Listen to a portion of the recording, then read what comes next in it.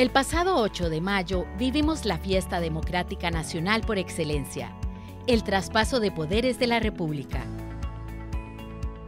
El presidente Rodrigo Chávez recibió la banda presidencial en la Asamblea Legislativa. Un evento que no se llevaba a cabo en ese lugar desde que la Junta Fundadora de la Segunda República realizara la ceremonia en 1949. En un día cargado de ilusión, fe y esperanza, el presidente de la República, Rodrigo Chávez Robles, y todo su gabinete iniciaron formalmente sus labores, juramentándose ante Dios y la patria para servir fielmente al pueblo. El presidente envió un mensaje directo sobre su mandato y le habló claramente al pueblo confirmando una vez más su obligación de trabajar incansablemente por el bien de todas y todos, pero sobre todo un compromiso de lucha y mejora por los más necesitados. Me honro en recibir esta banda presidencial en tiempos de desafíos importantísimos, no solo para el futuro de nuestro país, sino para el destino mismo de la humanidad. El pueblo costarricense, al elegirme, puso en mis manos la responsabilidad de conducir el destino patrio durante los próximos cuatro años.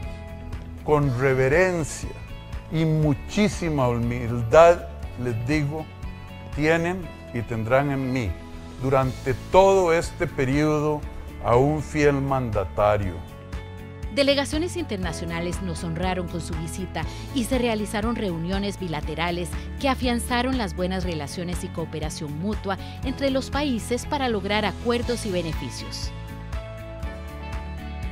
Este fue el comienzo de una semana cargada de trabajo para empezar el rumbo de una administración que viene con una agenda cargada de tareas y labores específicas. Trabajo que traerá cambios y beneficios inmediatos a la calidad de vida de la ciudadanía.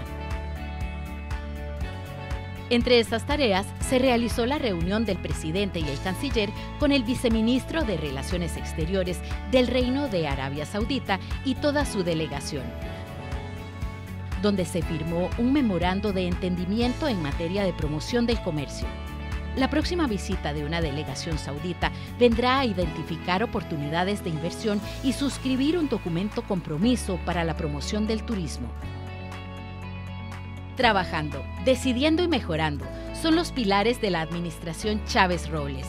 Un gobierno que está en camino de transformar este país con una visión clara de mejora en la calidad de vida de todos los costarricenses.